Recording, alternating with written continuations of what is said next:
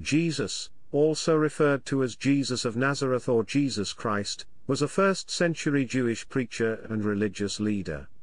He is the central figure of Christianity, the world's largest religion.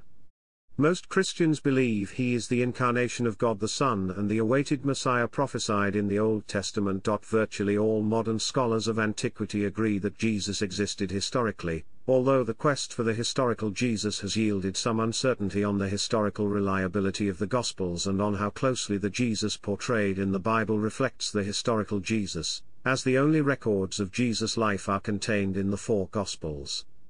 Jesus was a Galilean Jew who was baptized by John the Baptist and began his own ministry. He preached orally, and was often referred to as Rabbi. Jesus debated with fellow Jews on how to best follow God, engaged in healings, taught in parables and gathered followers. He was arrested and tried by the Jewish authorities, turned over to the Roman government, and crucified on the order of Pontius Pilate, the Roman prefect.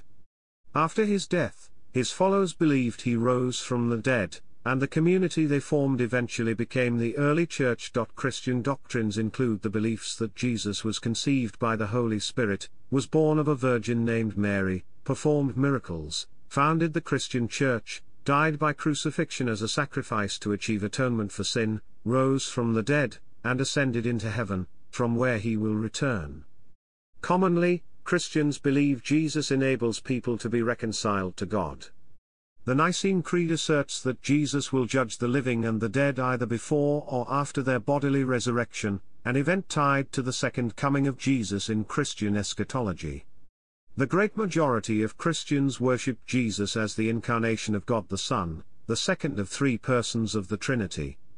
A small minority of Christian denominations reject Trinitarianism, wholly or partly, as non-scriptural. The birth of Jesus is celebrated annually on December 25 as Christmas.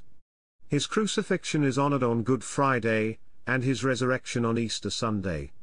The widely used calendar era AD, from the Latin Anno Domini, and the equivalent alternative CE, are based on the approximate birthdate of Jesus. Jesus is also revered outside of Christianity. In Islam, Jesus is considered one of God's important prophets and the Messiah. Muslims believe Jesus was born of a virgin, but was neither God nor a begotten God. The Quran states that Jesus never claimed divinity. Muslims do not believe that he was killed or crucified, but that he was physically raised into heaven by God. In contrast, Judaism rejects the belief that Jesus was the awaited Messiah, arguing that he did not fulfill messianic prophecies, and was neither divine nor resurrected.